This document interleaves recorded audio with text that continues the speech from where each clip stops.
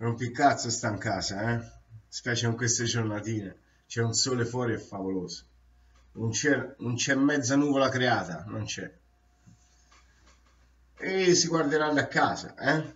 Voi lo guarderete da casa. Io no.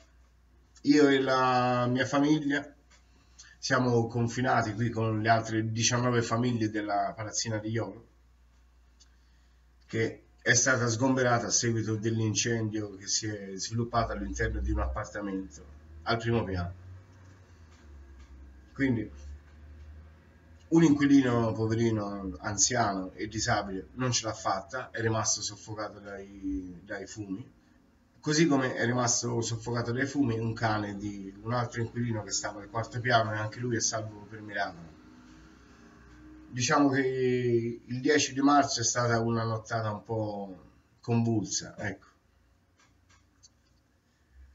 Quindi tra me e me mi sono trovato catapultato in questa stanza di albergo, anzi voglio fare un ringraziamento alla VAB, alla protezione civile in primis, perché sono stati i, i primi che in quel momento lì ha, hanno potuto mettere a disposizione un riparo per 10 persone.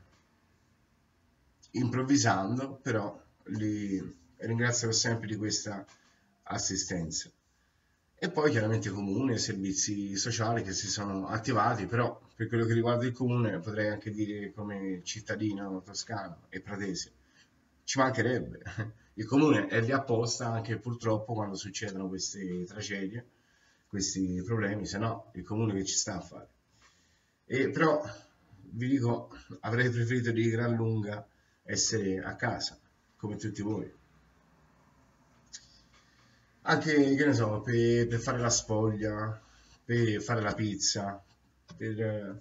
Adesso la situazione non so quanto durerà, fino al 20 di, di marzo siamo ancora qui. Adesso c'è tutta l'inchiesta in corso, stanno ribonificando tutto il palazzo, quindi un, po' di tempo ci, ci, vorrà. Fortunatamente, vi ripeto, stiamo bene e, e anzi, come si dice, ne, nella tragedia bisogna pensare anche a chi ha perso qualcosa in più rispetto a quello che abbiamo perso noi. Ecco. E quindi una cosa, ecco, una cosa potremmo anche farla, tanto non, nessuno ce lo vieta, siamo ognuno confinato nel, nel, proprio spazio. Sempre un altro bel, bel brindisi all'Italia, agli italiani, medici, infermieri e tutte le persone del, del addetti al sistema sanitario tanto di, di cappello perché insomma e ve lo dico per esperienza anche se lavoro in tutt'altro ambito il tessile eccetera. Però non c'è peggio cosa che, che lavorare con mezzi insufficienti. Perché tu senti che potresti dare di più però non puoi perché i mezzi sono quelli che sono. Ecco se una persona ha passione per il proprio mestiere, che sia medico, infermiere, filatore, qualsiasi cosa, ci rimane male, che dici sì, eh, faccio quello che posso con i mezzi che ho, quindi tanto di cappello ai medici, infermieri e a tutto il personale sanitario. E quindi però dicevo, un altro bel brindisi di Morellino va fatto all'Italia, agli italiani. Ce l'abbiamo fatta sempre e anzi facciamoci più furbi da qui in avanti, non dimentichiamoci di quello che stiamo passando oggi. E come cittadini potremmo richiedere in futuro la stessa, ehm, adesso non mi viene il termine, la stessa, ce l'ho sulla punta della lingua, ma la stessa fermezza, la stessa intransigenza da parte dello Stato, quando tutto questo sarà finito, anche per tutte le altre questioni che gravano sulla nostra salute, e non sempre ci facciamo caso, e sulla società in generale. io accetto come cittadino ora che lo Stato mi dica guarda devi fare un sacrificio per il bene di, di tutti.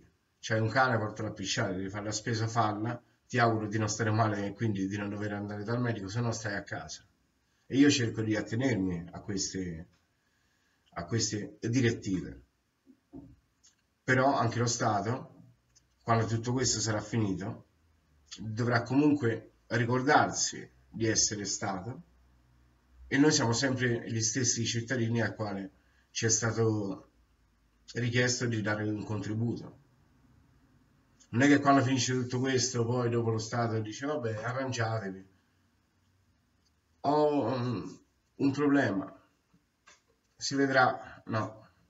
Quindi ricordiamoci di tutto questo quando, quando sarà passato e richiediamo uno Stato che sia sempre Stato non che sia stato.